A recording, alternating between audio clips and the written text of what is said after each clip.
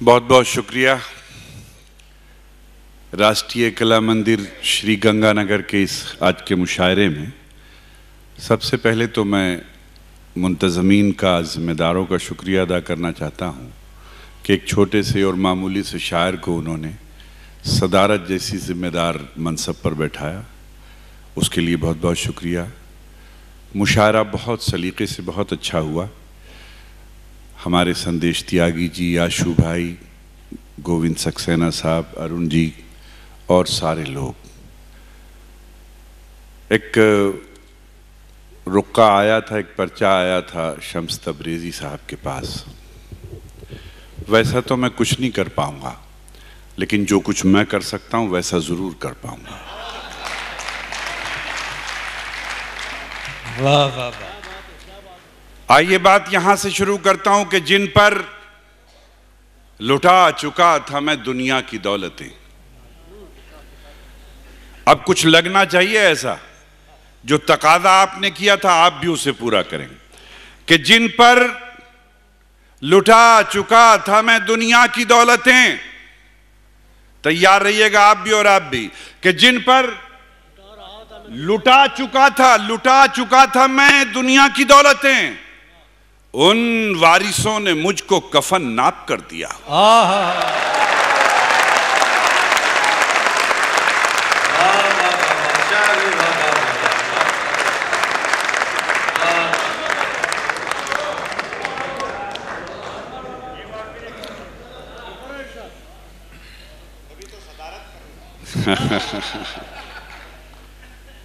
जितनी मोहब्बत से आपने सुना मुकर्र क्या अगर आप पूरी रात इसी को सुने तो मैं तैयार हूँ।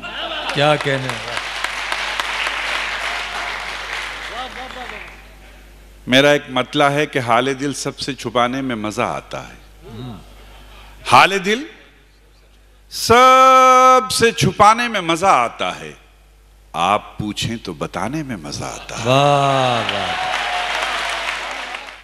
तो मैं कह रहा था कि जिन पर लुटा चुका था मैं दुनिया की दौलतें उन वारिसों ने मुझको कफन नाप कर दिया। अब फिर ये दावा नहीं करता शम्स भाई कि मैंने कोई नई बात कही है। जी जी। लेकिन देखिए चतुर्वेदी साहब के हो सकता है कोई बात अच्छी लगे। तरतीब कहते हैं क्रम को सीक्वेंस को तरतीब क्रम। मैंने कहा यह है कि बाप और बेटा पहले आए तो फिर पोता आता है। वाह। बाप और बेटा पहले आए तो फिर पोता आता है। फिर तैयार रहिएगा कि बाप और बेटा पहले आए तो फिर पोता आता है। आने की तरतीब है लेकिन जाने की तरतीब नहीं।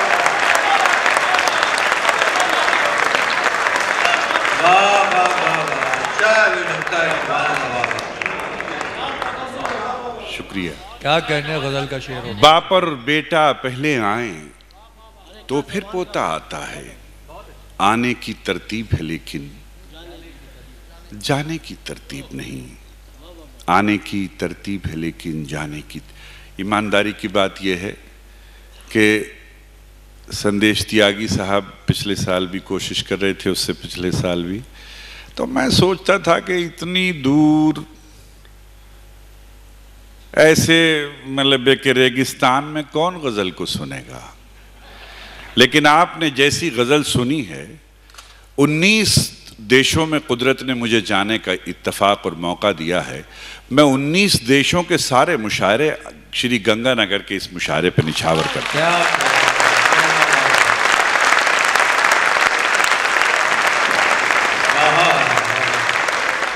और मैं आपको वो शेर सुनाता हूँ जो शेर मुशायरे में नहीं सुनाता शेर सुनिए कि बादशाहों का इंतज़ार करें बादशाहों का बादशाहों का इंतज़ार करें इतनी फुर्सत कहाँ फकीरों को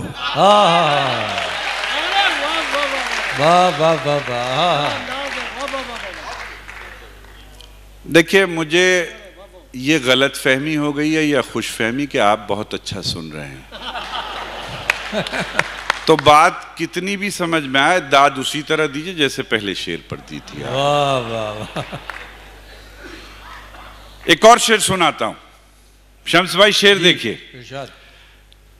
कि सीढ़ियों के बल पे छूना चाहते थे सारे लोग।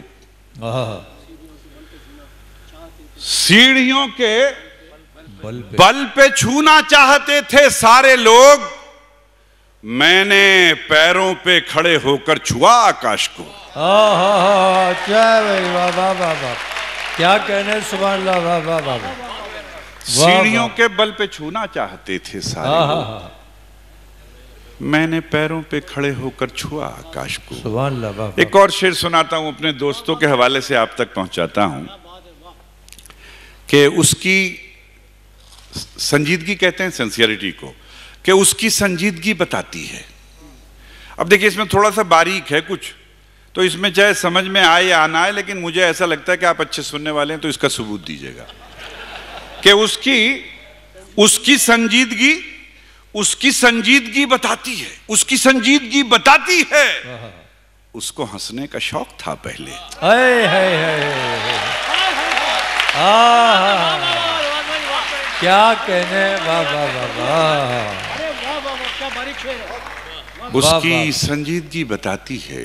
उसको हंसने का शौक था पहले। उसको हंसने का शौक था पहले। वाह वाह वाह। उसको? आइए दोस्तों मतलब सुनाना तो ये चाहता था लेकिन सुना कुछ और रहा हूँ। एक और शेर सुनाता हूँ। मुलायजा फरमाए आप लोग भी देखिए। कहता हूँ कि देखकर देखकर सोचा तो पाया फासला ही फासला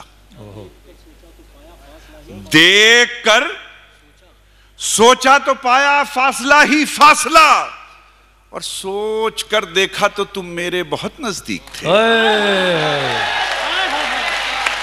क्या कह रहे हैं सुबह वाह आवाज़ वाह वाह वाह वाह क्या कहने हैं नवाज़ भाई देखकर सोचा तो पाया फासला ही फासला देख कर सोचा सोच कर देखा तो तुम मेरे बहुत नज़दीक थे सुबह अल्लाह वाह वाह तड़प में तो कसर कोई नहीं है तड़प तड़प तड़प में तो कसर कोई नहीं है तड़प में तो कसर कोई नहीं है मगर उस पर असर कोई नहीं है ओ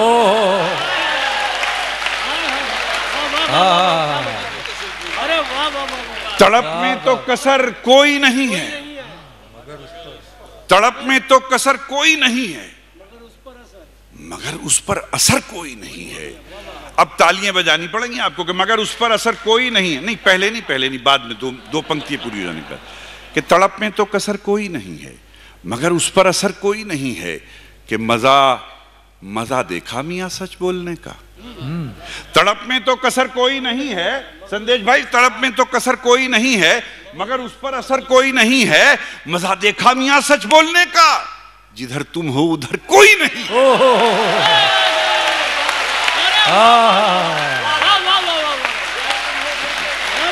वाह वाह वाह वाह क्या मज़ा मज़ा देखा मियाँ सच बोलने का। चलिए आपको कुछ तो राहत हुई। कि मज़ा देखा मियाँ सच बोलने का? मज़ा देखा मियाँ सच बोलने का? जिधर तुम हो उधर कोई नहीं है।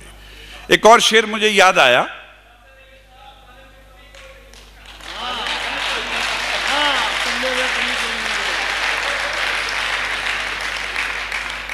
शुक्रिया। एक शेर और याद आया।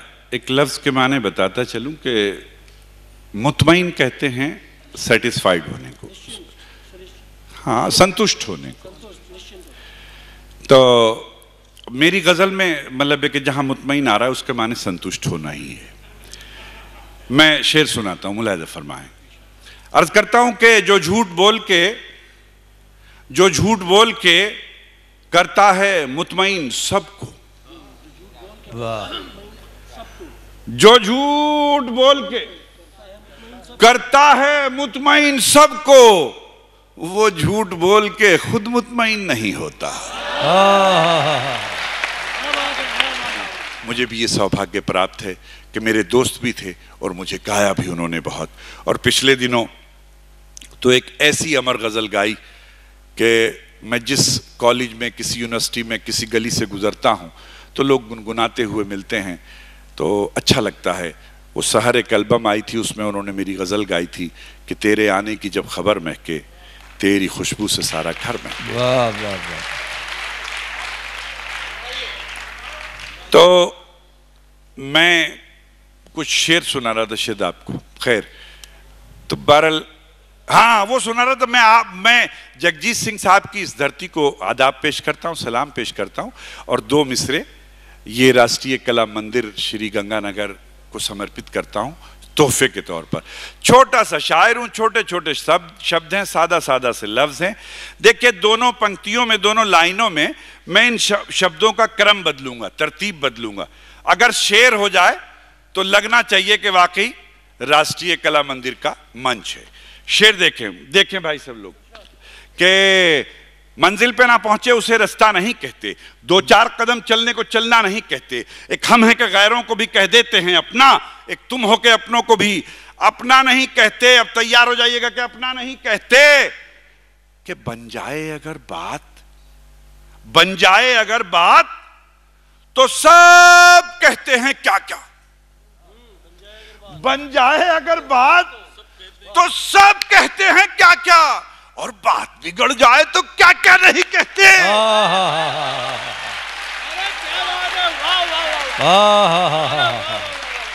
क्या कहने वाह वाह वाह वाह। बन जाए अगर बात तो सब कहते हैं क्या क्या। और बात बिगड़ जाए तो क्या क्या नहीं कहते। क्या क्या नहीं कहते। अल्फाज की तरतीब ने और बात बिगड़ जाए तो क्या क्या नहीं कहते? कुछ दोस्त तो संदेश भाई ने याद दिलाया था और उनके फादर ने कि कुछ दोस्तों को हमने निभाया बहुत दिनों। कुछ दोस्तों को अच्छा ऐसा भी कि कुछ लेके भी जाइए, कहीं काम आते रहेंगे। देखिए, अब सबके काम आएगा शेर। कि कुछ दोस्तों को हमने निभाया बहुत दिनों। कुछ दोस्तों को हमने निभाया बहुत दिनों। घाटे का कारोबार चलाया बहुत कुछ दोस्तों को हमने निभाया बहुत दिनों। घाटे का कारोबार चलाया बहुत दिनों। हर एक सितम पे दाद दी हर जख्म पर दुआ। हर एक सितम पे दाद दी हर जख्म पर दुआ। हमने भी दुश्मनों को सताया बहुत क्या कहने वाह वाह वाह। हमने भी दुश्मनों को सताया बहुत दिनों। एक और शेर याद आया कि तुझसे बिछड़ के तेरी कसम खुश नहीं रहे।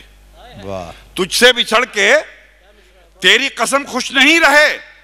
दुनिया तो क्या है खुद से भी हम खुश नहीं रहे। दुनिया तो क्या है खुद से भी हम खुश नहीं रहे। और फिर शेर मज़ा देगा कि दुनिया तो क्या है खुद से भी हम खुश नहीं रहे। कि दुश्मन दुश्मन हमारी हार पे खुश थे बहुत मियाँ। दुश्मन हमारी हार पे खुश थे बहुत मियाँ। लेकिन हमारे दोस्त भी कम खुश नहीं रहे।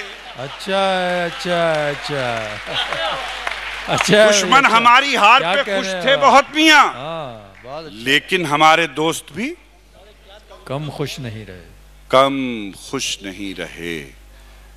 जैसा आपने सुना जितनी मोहब्बत से प्यार से स्नेह के साथ बस जी यूँ ही कहने को चाहता है खुदा आपको ज़िंदा सलामत रखे अच्छा रखे सुखी रखे और आने वाली पीढ़ियों को भी सुखी रखे। एक बात मैं ज़रूर कहना चाहता हूँ, जो बड़ी उम्र के लोग यहाँ आए हैं। देखिए, सबसे इस वक्त भारत में बड़े रिसोर्सेज हैं, बड़े संसाधन हैं बड़ी बड़ी कोठियाँ हैं। आज एक घर में, एक एक घर में कई कई गाड़ियाँ हैं, लेकिन क्या चीज़ मरी है? वो मरे हैं रिश्ते, वो मरी हैं परंपराएँ, वो मरी है संस्कृति, वो मरी है तहजीब। अगर उसे आपको ज़िंदा रखना है तो अपने बच्चों को साहित्य प्रेमी बनाइए और साहित्य सम्मेलन में साथ लेके आइए, ताकि चरण स्पर्श करने की, हाथ जोड़ने की परंपरा ज़िंदा रहे, सेवा करने की परंपरा ज़िंदा रहे। अगर आप ऐसा चाहते हैं तो हिंदुस्तान ज़िंदा रह सकता है। जब आप कवि सम्मेलन और मुशायरे में आए तो नई पीढ़ी को साथ ज़रूर लेके आइए। मुझे अपना एक मतला याद आया। मेरे मत मतलब इस शेर की खुशनसीबी कहें या बदनसीबी, कि जब मैं इसे सुनाता हूँ तो लोग सन्नाटे में आ जाते हैं, लेकिन जब मैं बाहर निकलता हूँ तो लोग गले मिल के मुझसे रोते हैं। एक ऐसा दुख, जो मैंने समाज का दुख गाया शेर देखें, कि खुद को खुद को कितना छोटा करना पड़ता है। तैयार रहिएगा कि खुद को खुद को कितना छोटा कितना छोटा, खुद को कितना छोटा करना पड़ता है। बेटे से समझौता करना पड़ता है। खुद को कितना छोटा करना पड़ता है बेटे से समझौता करना पड़ता है। जब औलादें नालायक हो जाती हैं जब औलादें नालायक हो जाती हैं अपने ऊपर गुस्सा करना पड़ता है। वाह वाह। जब औलादें नालायक हो जाती हैं, अपने ऊपर गुस्सा करना पड़ता है। एक शेर और सुनाता हूँ कि दो बूढ़े चरागों का उजाला ना चला जाए। दो बूढ़े चरागों का उजाला ना चला जाए। दो बूढ़े चरागों का उजाला ना चला जाए। दो बूढ़े चरागों का उजाला ना चला जाए। आए जो बहू हाथ से बेटा ना चला जाए। ओ हो दो बूढ़े चरागों का उजाला ना चला जाए, आए जो बहू हाथ से बेटा ना चला जाए। कासा कहते हैं भीख मांगने के पात्र को कि आए जो बहू हाथ से बेटा ना चला जाए, वो शहर वो शहर गरीबों का था जब भीख लूटी थी। वो शहर गरीबों का था जब भीख लूटी थी। ये शहर अमीरों का है, कासा ना चला जाए। ओहो अच्छा है। अच्छा है, वाह वाह वाह वाह वाह। वो शहर गरीबों का था जब भीख लूटी थी। ये शहर अमीरों का है। कासा ना चला जाए। आखिर में चार पंक्तियाँ सुना के इजाज़त चाहता हूँ। आपकी मोहब्बतों को सलाम पेश करता हूँ। बहुत शानदार तरीके पे आपने सुना। मुझे तो अपनी थकान का एहसास नहीं हुआ। आप कितने थके ये आप जानते हो।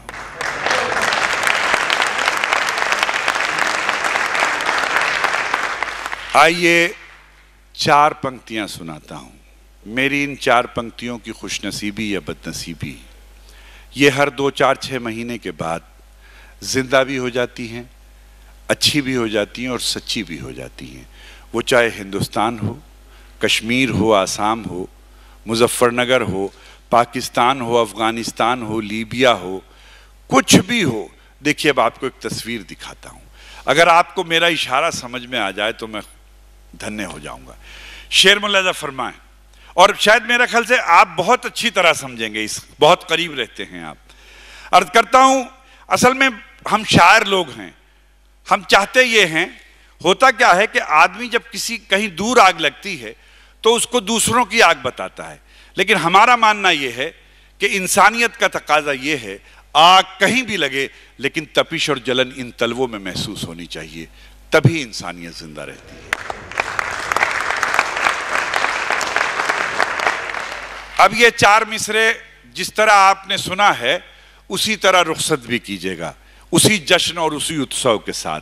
अर्ज़ करता हूँ कि जलते घर को देखने वालों, जलते घर को देखने वालों, फूस का छप्पर आपका है।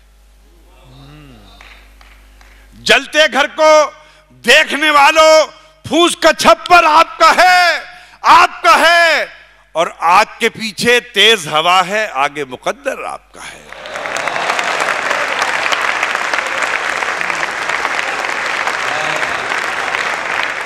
जलते घर को देखने वालों, फूस का छप्पर आपका है। आग के पीछे तेज हवा है। आगे मुकद्दर आपका है। और श्री गंगानगर के लोगों, राष्ट्रीय कला मंदिर के इस मंच से आपको ताली अब बजानी पड़ेगी और रुखसत कीजिएगा उसी तरह से कि जलते घर को देखने वालों, फूस का छप्पर आपका है आपका है। आग के पीछे तेज हवा है। आगे मुकद्दर आपका है। अब एक तस्वीर बनाता हूँ। आगे मुकद्दर आपका है। उसके कत्ल पे उसके कत्ल पे मैं भी चुप था। उसके कत्ल पे मैं भी चुप था। मेरा नंबर अब आया और मेरे कत्ल पे आप भी चुप हैं। अगला नंबर आपका है। हाँ, हाँ, हाँ।